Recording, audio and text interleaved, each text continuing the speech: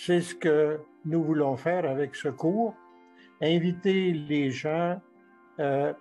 par, des, par des exemples, entre autres, euh, qu'on va reprendre dans des autobiographies, inviter les gens à découvrir des actes, des opérations concrètes ou des, des questionnements, des, des, des, euh, des, désirs ou des opérateurs, comme dit Lonergan, des choses qui les poussent à aller toujours plus loin. Ce que Bernard Lonergan nous invite à faire, c'est de devenir, euh, de devenir nous-mêmes, c'est-à-dire de nous approprier notre capacité de pensée personnelle et non pas de devenir Lonerganien. so I'm quite interested in his invitation to self-discovery and at the same time discover uh, Bernard Lonergan's original cognitional theory,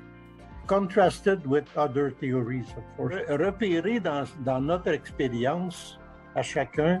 euh, des choses comme un insight, par exemple, qui, qui, est un, un, acte capital.